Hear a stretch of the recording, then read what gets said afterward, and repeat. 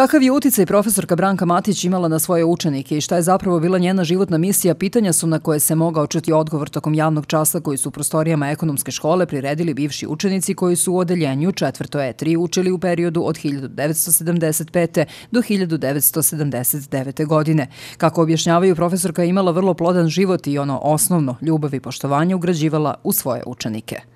Ono što je sigurno za profesorku Branku Matić je da je u svoje učenike ugradila poštenje, ljubav, prave životne vrednosti. E, te životne vrednosti se prenose na našu decu i na buduće generacije. Članovi Brankine porodice, njene kolege, sadašnji profesori ekonomske škole, njeni učenici, ali i njeni prijatelji poštovaoci onoga što je radila, okupili su se na jednom mestu kako bi iskazali beskrajnu zahvalnost, ali i pružili podršku fondu koji nosi njeno ime i koji nagrađuje najbolji diplomski rad.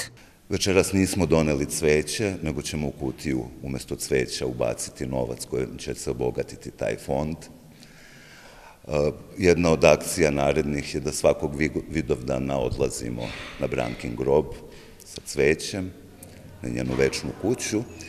I ono što smo doneli odluku večeras i molimo i direktorku školu i gradske vlasti da se prilikom rekonstrukcije malog parka zasadi drvo života Branke Matić sa spomen pločom. To drvo objašnjava Predrag Sačević, bivši učenik, a danas učitelj koji širi ljubav, biće posvećeno jednom od najboljih profesora, ali i svim drugim prosvetnim radnicima koji utiču na živote svojih učenika tako što im prenose prave vrednosti. U ime kolektiva prisutne pozdravila Zorica Karajić-Šibalić, profesorka matematike i pomoćnik direktora, izrazivši veliko zadovoljstvo što je ekonomska škola domaćin jednog ovakvog događaja.